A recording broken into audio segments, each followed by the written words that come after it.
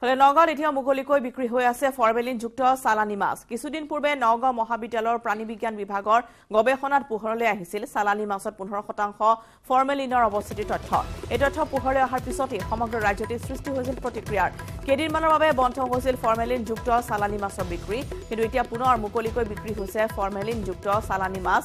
মাছত ফৰ্মেলিন দি এমাহ পৰ্যন্ত জমা কৰি ৰখা হৈছে নগাঁৱৰ বৰবজাৰৰ মাছৰ গুদামত। নগাঁৱৰ মৰিকলঙলৈ এতিয়াও অন্ধ্ৰপ্ৰদেশৰ পৰা আহি আছে চালানী মাছ মাইনুল ইনামুল আৰু জয়ছোৱাল নামৰ ব্যৱসায়ীৰ ছত্ৰছায়াত এতিয়াও নগাঁৱত চলিছে ফৰ্মেলিনযুক্ত চালানী মাছৰ ব্যৱসায়।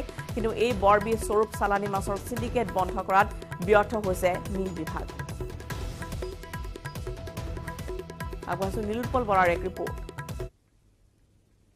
চালানী মাছৰ বিৰুদ্ধে ফৰ্মেলিনযুক্ত চালানী মাছৰ বিৰুদ্ধে শেহতীয়াভাৱে যিসমূহ তথ্য পোহৰলৈ আহিছে তাৰ পিছতে সমগ্ৰ ৰাজ্যতে চালানী মাছ নিষিদ্ধ কৰাৰ দাবী উঠিছিলে কিন্তু বৰ্তমানেও চালানী মাছ ইয়াত বৰ্তমান নগাঁৱত চলি আছে আটাইতকৈ ভয়ংকৰ কথাটো হৈছে নতুনকৈ চালানী মাছ নহাৰ ফলত পুৰণি যিসমূহ ষ্টক আছে পুৰণি চালানী মাছে বৰ্তমান ইয়াত বিক্ৰী কৰি থকা হৈছে। মই মই মই- দেখুৱাম ক'ত চালানী মাছ মজুত কৰি থোৱা হৈছে। সেই গুদামটো আমি দেখুৱাবলৈ চেষ্টা কৰিম। মই দেখুৱাইছো নগাঁও বৰবজাৰ দৃশ্যাংশ দেখুৱাই আছো। নগাঁও বৰবজাৰত বৰ্তমানেও চালানী মাছ বিক্ৰী হৈ আছে। আৰু পুৰণি যিসমূহ চালানী মাছ ষ্টকত আছিলে সেইসমূহ ইয়াত বিক্ৰী হৈ আছে। মই সেই দৃশ্যাংশ দেখুৱাবলৈ চেষ্টা কৰিম। এইটো গুদাম। এই গুদামটোতে বৰ্তমান মজুত কৰি ৰখা হৈছে চালানী মাছ।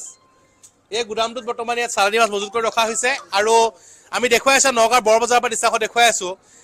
বৰ্তমান নতুনকৈ চালানী মাছ অহা নাই কিন্তু ইয়াত এই যিটো গুদাম এই গুদামটোত চালানী মাছ আছে আমাৰ লগত বিৰিঞ্চি আছে বিৰিঞ্চি মই আপোনাৰ পৰা জানিবলৈ চেষ্টা কৰিম। শেহতীয়াকৈ যি চালানী মাছ বিক্ৰীৰ বিৰুদ্ধে নিৰ্দেশনা জাৰি কৰা হৈছিলে আৰু ফৰ্মেলিন যিটো চালানী মাছ ব্যাপক ক্ষতি হয়। কি কি ক্ষতি হ'ব পাৰে আপুনি সেই কথাও কওক। আৰু বৰ্তমানেও যি দেখিবলৈ পোৱা গৈছে যে চালানী মাছ কিন্তু বিক্ৰী হৈ আছে। আপুনি কি ক'ব?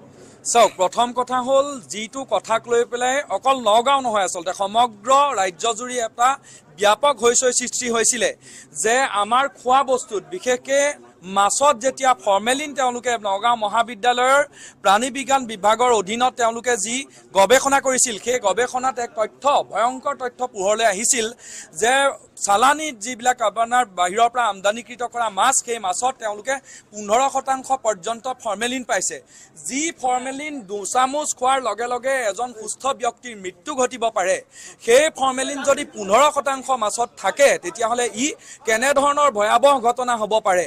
আৰু আমি দেখিবলৈ পাইছোঁ ইয়াৰ পাছত আচলতে অসম চৰকাৰে তৎপৰতাৰে সৈতে অতি ক্ষিপ্ৰতাৰে তেওঁলোকে সমগ্ৰ যি অসমলৈ চালানী মাছ ইতিমধ্যে আহিছিল সেই সমূহ চালানী মাছ নষ্ট কৰি আৰু পৰৱৰ্তী পৰ্যায়ত যেতিয়ালৈকে এই ফৰ্মেলিন মুক্ত চালানী মাছ তেওঁলোকে নপঠিয়াই তেতিয়ালৈকে এই ফাৰ্মালিন ফৰ্মেলিনযুক্ত যি চালানী মাছৰ ৰমৰমীয়া ব্যৱসায় এই ব্যৱসায়টো জনস্বাৰ্থৰ খাতিৰত বন্ধ কৰিব লাগিছিল। কিন্তু তাৰ বিপৰীতে আমি দেখিলোঁ ইয়াকে নকৰি তেওঁলোকে নগাঁও মহাবিদ্যালয়ৰ প্ৰাণী বিজ্ঞান বিভাগৰ কোন কোন আচলতে কোন কোন প্ৰফেচৰৰ অধীনত কোন কোন ছাত্ৰ ছাত্ৰীয়ে এই সমগ্ৰ আচলতে ঘটনাটো পোহৰলৈ আনিছিল তাক লৈহে তেওঁলোকে জানিবলৈ খুজিলে। গতিকে ইয়াৰ এটা কথা স্পষ্ট কৰিছে যে এই চৰকাৰখনৰ আপোনালোকে জানেই যে বিজেপি মানে কমিশ্যন কমিশ্যন মানে বিজেপি আৰু বিজেপি মানে চিণ্ডিকেট চিণ্ডিকেট মানে বিজেপি। এই কথাটোৱে পুনৰবাৰ স্পষ্ট কৰিলে। আজি আপ- আপোনালোকে দেখিবলৈ পাইছে যে তেওঁলোকে সমগ্ৰ যিমান আছি- দি- যুক্ত মাছ আছিলে। সমূহ মাছ তেওঁলোকে আচলতে জমা কৰি ৰাখিছে।